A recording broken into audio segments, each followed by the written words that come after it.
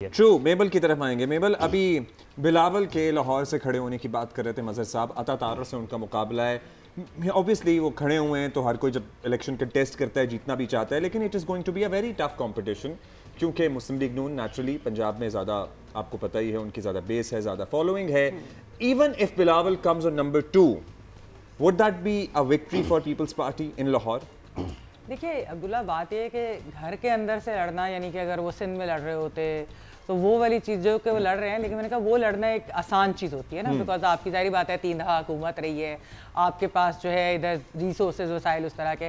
पंजाब के अंदर peoples party जो है हमने देखा कि ओवर द ईयर्स एक तो बहुत सिस्टमेटिकली एलिमिनेट किया गया पीपल्स पार्टी को। हालाँकि आप देखें कि भुट्टो साहब ने तो वहीं से स्वीप किया था पंजाब के अंदर से।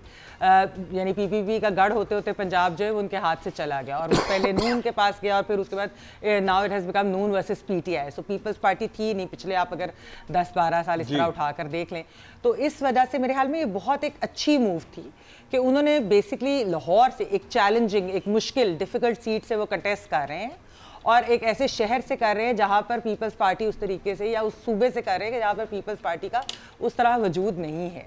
और ये एक मैसेज भी है कि वो पंजाब में वापस उसको रिक्लेम भी करना चाहते हैं स्पेस भी बनाना चाहते हैं। ज़ाहिर बात इसमें टाइम लगेगा, ये कोई आसानी तो आसान बात तो नहीं है कि जब आप बीस तीस साल लगा कर और उसके बाद जो है वो ऐसा ऐसा बिल्कुल एक पार्टी उधर ख़त्म होती गई तो उसको वापस कैसे लाना है? लेकिन मैं ये ज़रूर कहूँगी कि उन्होंने एक तो खैर कैंपेन भी बड़ी टाइमली स्टार्ट की थी, बिलावल भुट्टो ने पीपल्स पार्टी ने, और कैंपेन पीपल्स पार्टी की बहुत अच्छी रही और उसके अलावा भी अगर आप देखिए बिलावल भुट्टो साहब जिस तरह से मीडिया के साथ उनकी इंटरेक्शन इतने उन्होंने इंटरव्यूज़ हर किस्म के सवाल का उन्होंने जवाब भी दिया है सोशल मीडिया पे उन्होंने जो है पॉडकास्ट वगैरह की किए हैं तो इस तरीके से बहुत अच्छी उनकी कैंपेन रही।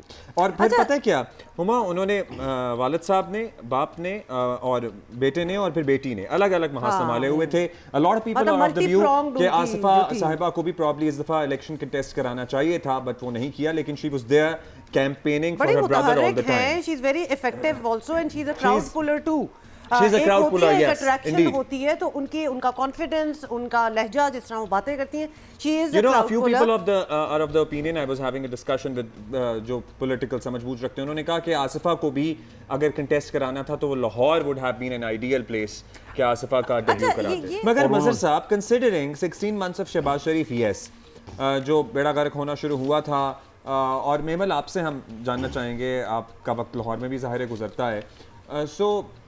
Usman, Buzdar की परफॉर्मेंस लोग इतनी जल्दी कैसे भूल सकते हैं?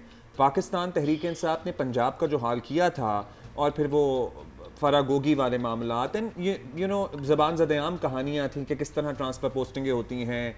उस्मान, बुजदार साहब का अपना किरदार, उनकी अपनी परफॉर्मेंस फिर वो वजह तनाज़ा भी बने इस्टेबलिशमेंट के साथ। वो कैसे पंजाब भूल सकता है इतनी जल्दी? देखिए, मैं बताऊँ आपको अब्दुल्ला, वैसे तो आपने जो बात की ना, बड़ी अहम है, क्योंकि पंजाब के अंदर अगर आप देखें इवन पीपल्स पार्टी के लिए जो ये कम करना होगा ना इवेंचुअली वो परफॉर्मेंस बेस्ड होगा। यानी कि वो सिंध में क्या परफॉर्म करे? क्योंकि पंजाब के अंदर जो है वो एक डेवलपमेंट जो कि इंफ्रास्ट्रक्चर का डेवलपमेंट बड़े बड़े प्रोजेक्ट इस तरह की जो चीज़ें। अगर आप देखें कि नाइनटीन सेवन के जो शहबाज शरीफ होंगे तो चौधरी परवेज लाई जो दो हज़ार दो के सी एम बनते हैं तो उन्होंने उनको आउटडू करना है। फिर जब शहबाज शरीफ साहब दोबारा वापस आते हैं, उन्होंने चौधरी परवेज लाई की कारकर्दगी को आउटडू करना है। लेकिन जब उस्मान बुजदार आते हैं, उनकी वैसे एक चीज़ में उन्होंने बड़ी तरक्की की, उनके एसेट्स अगर आप 2018 के देख ले और आप लाखों से अरबों में पहुँच गए। जी जी लाखों से अरबों में पहुँच गए। उसमें उन्होंने तरक्की ज़रूर की लेकिन उनको पता था कि उनको कारकर्दगी करने की कोई ज़रूरत नहीं है क्योंकि उनके लीडर जो है वो इतना झूठ इतना स्पिन वो नेरेटिव इस तरह बिल्ड कर लेते हैं पूरा सोशल मीडिया और मीडिया के ऊपर वो अपनी कहानी बुन लेते हैं तो शायद उनको कारकर्दगी के बगैर भी वो जीत सकते थे। तो इसलिए उन्होंने नहीं की लेकिन आप यह देखिए कि उसके बाद चौधरी परवेज लाई उन्होंने फिर काम किया। उसके बाद अगर आप वैसे देखें कि even care taker chief minister अगर मोहसिन नकवी साहब को देखें वो भी काम कर रहे हैं वो भी कारकर्दगी दिखा रहे हैं। तो ये कि बुजदार साहब एक वो थे कि जो जिन्होंने सोचा होगा कि लीडरशिप खुद ही संभाल लेगी उन्हें कुछ करने की ज़रूरत नहीं है। कैसे उसकी 16 महीने की परफॉर्मेंस पीडीएम गवर्नमेंट की बिल्कुल अपनी जगह लेकिन at the same time let is also mention और यहाँ पे हमारा ये बावर कराना सबको ज़रूरी है कि इस पॉपुलैरिटी में जो आपको लग रहा है कि हमें लग रहा है कि पीटीआई की है इमरान खान साहब के झूठे बयानियों का भी हम्म। बहुत बड़ा हाथ है। बिकॉज़ वो जो साजिशी कागज़ लहराना है मेमल आपसे इस पर लास्ट कॉमेंट चाहेंगे ग़ुलामी से निजाती निजात का दावा और फिर वहीं अमरीका में लॉबीज हायर करना अमरीका से ताल्लुक बहाल करने के लिए।